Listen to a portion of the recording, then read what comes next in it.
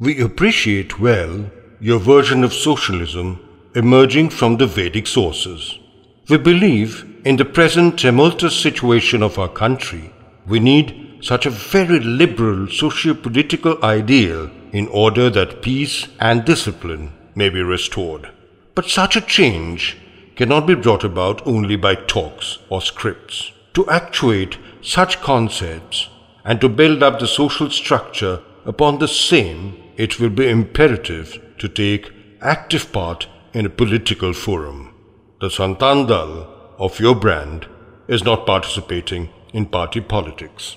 Therefore, we intend to form a party or say a forum based on Vedic tenets of social ideology by the name of CPIV, meaning Communist Party of India Vedic. They will function well politically and in this way will be able to establish a socialistic order on Vedic lines, which you are propagating with all energy.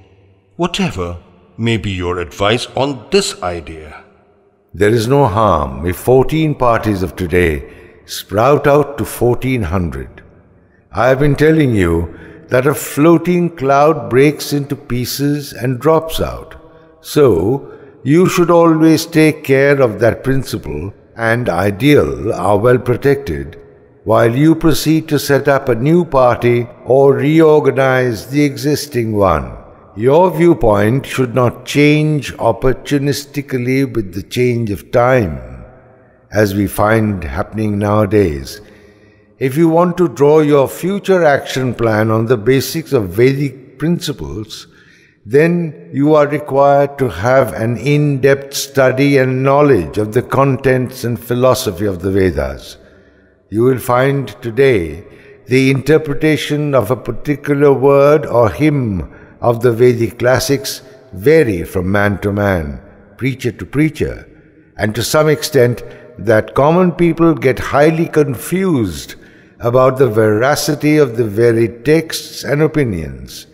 Every interpreter or preceptor insists on his own line of approach to the Vedic verses to be correct and true. Each one may be correct to some extent only, that is, only partly, not absolutely. None of them can be able enough to get at the true extract of the Vedic verdicts, and as a result, such half truths, and many of them become believers in God, while some others are turned into atheists.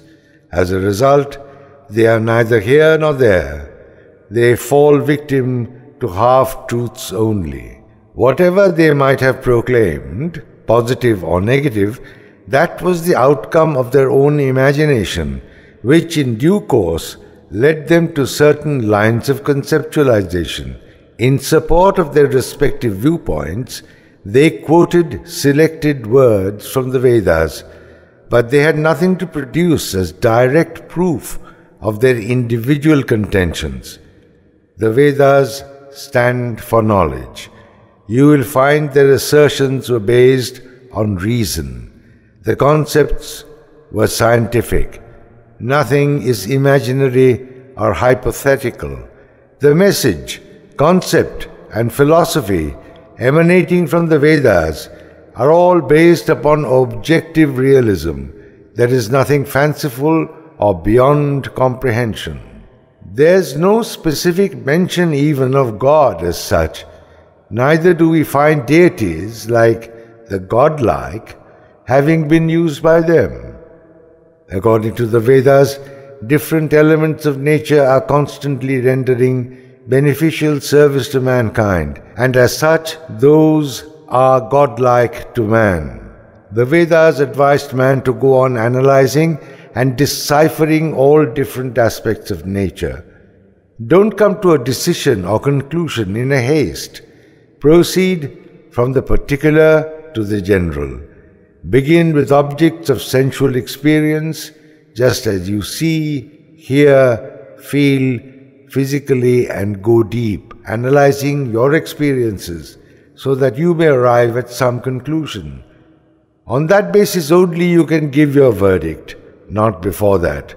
You need to substantiate with reasoning, facts, and prove your statement that the worldly matters are unreal and only Brahma is the essence. The reverse will also not hold good without the fundamental support of reason and proof. Whatever you find substantial as a result of your analysis, research, and experiment, which must be beyond any doubt and hesitation, produce substance and offer to the society.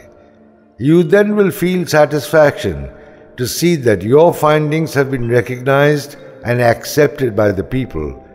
There won't be any gain before all your exercise is completed.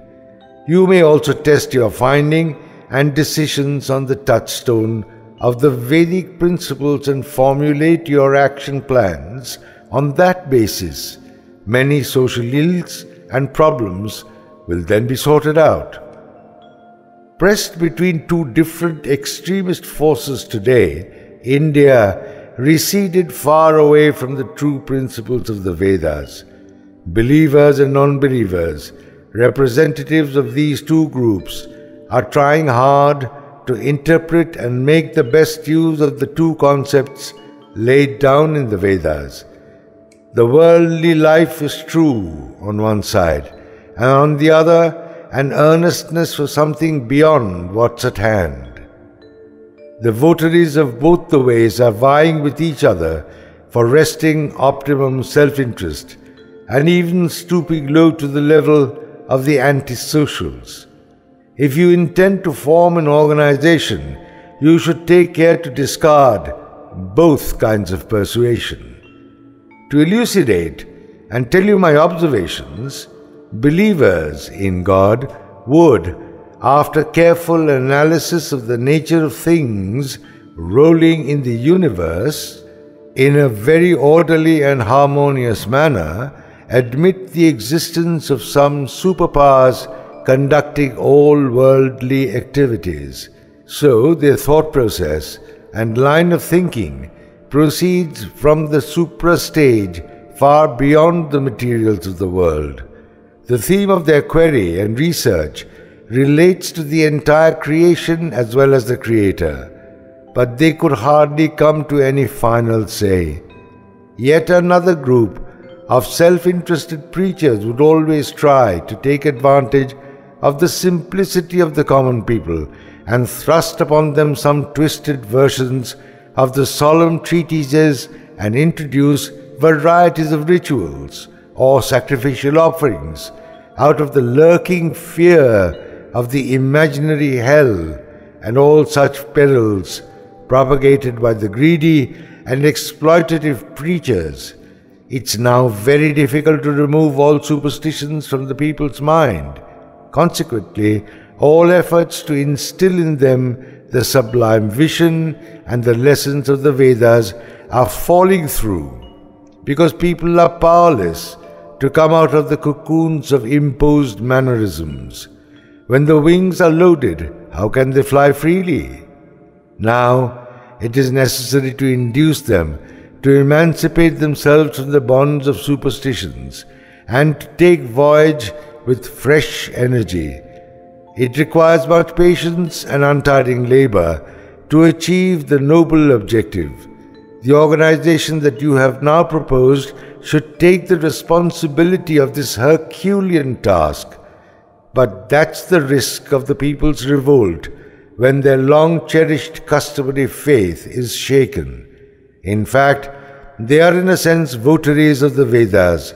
Whatever they do in the name of religious rites like puja, yajna, devotional offerings, etc., come from Vedic teachings, as they have been told people have been assured of joy and happiness in the present birth.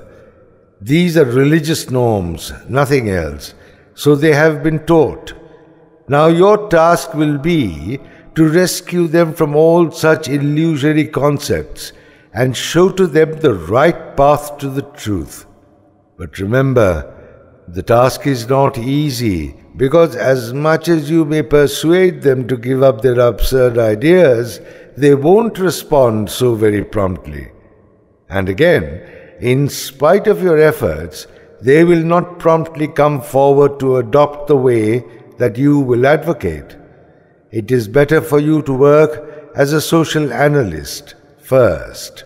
You measure up the level of the people's ideas and aspirations. You confine your efforts up to that much only and proceed on by analyzing and explaining within their range of understanding.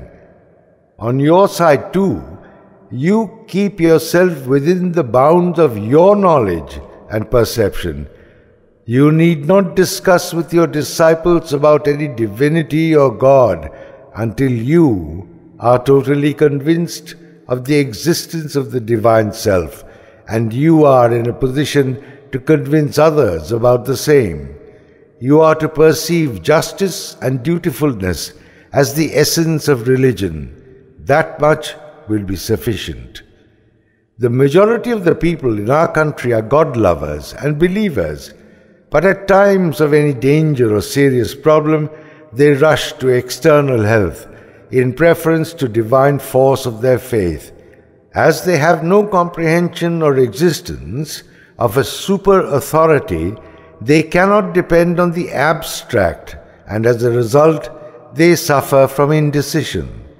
It leads to various problems and complications. In a situation where it would be possible to justify the existence of God by any evidence and proof, then people would rest in faith and peace and reliance. Then our society and the country as a whole would assume a new appearance and adopt a very new line of approach to all activities.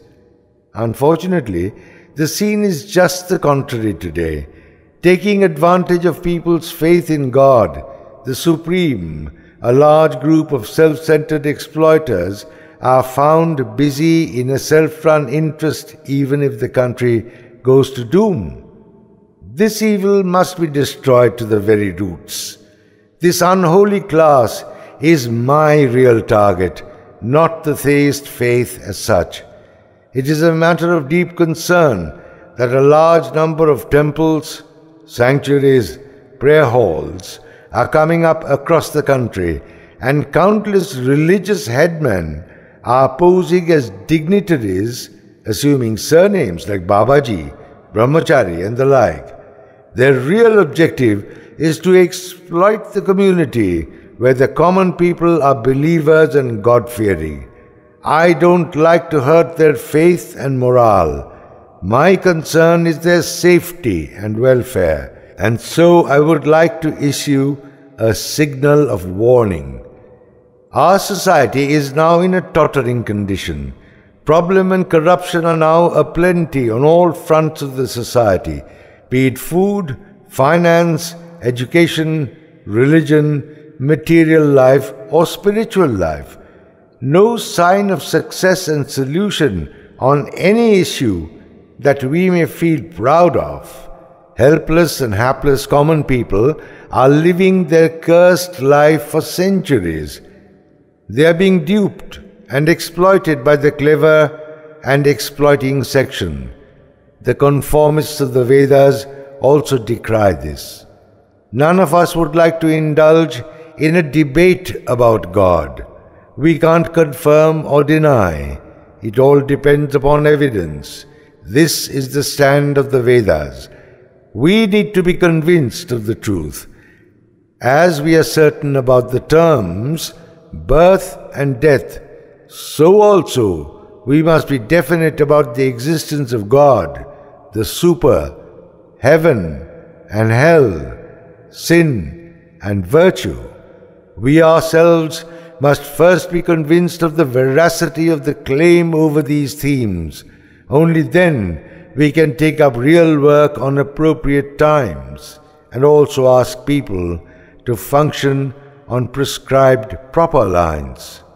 Mere faith is an omniscient God or in destiny does not solve man's problem or cure man's ill.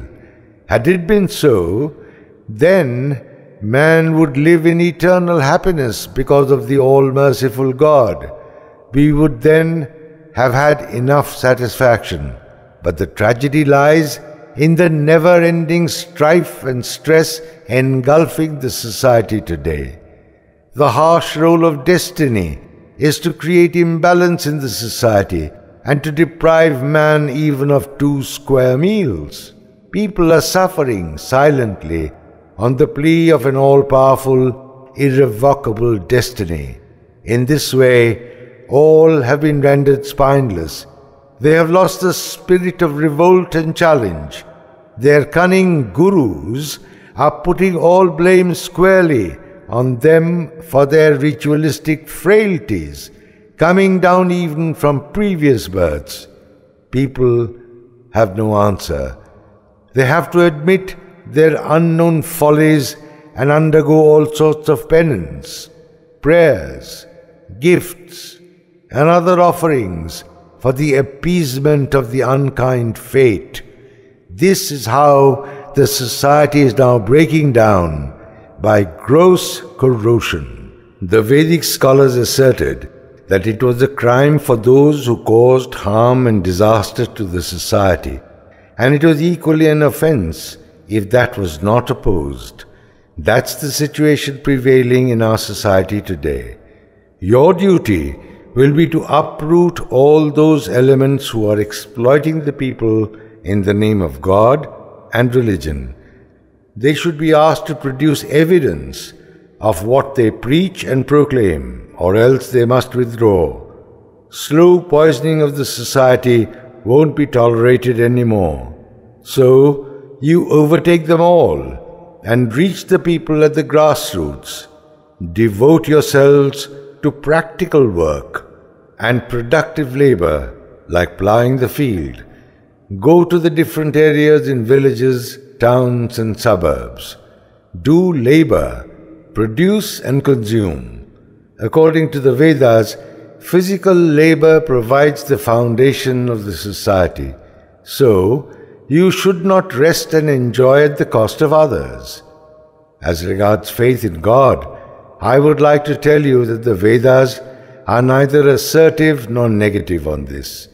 If the believers can produce conclusive proof of divine existence, you should admit and accept that readily. That will be the turning point in your pilgrim's progress. A different section in our society who claim to be non believers of any super authority as God, or so, won't bother over the issue. For them, the materialistic world was all. That matters.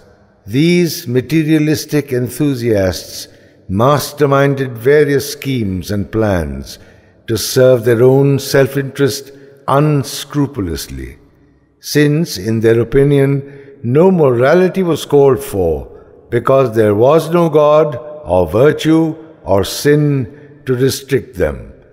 Enjoyment and pleasure in the present life became all important to them. They are resorting to unscrupulous, even nefarious and unlawful means to achieve their selfish objectives. Cases of indiscipline, ugly disputes are cropping up due to their offensive conduct. It is entirely a unilateral assertion on their part to proclaim that there was no heed to bother for consequences of licentious activities, as there is none to question them and control them with moral authority.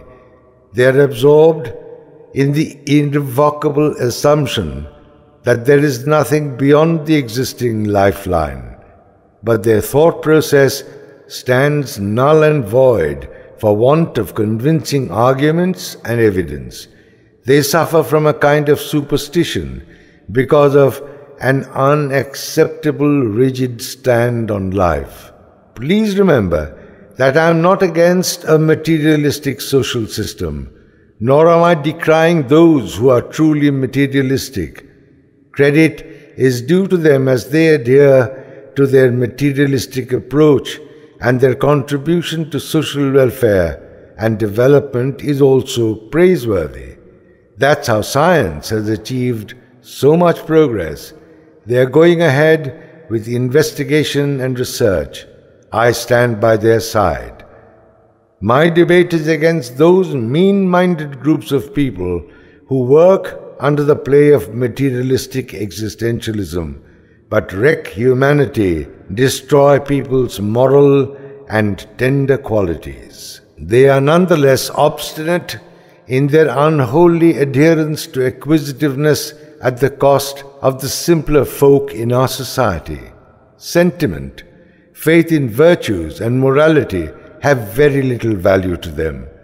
An antisocial group is taking advantage of this situation and creating disruption in society.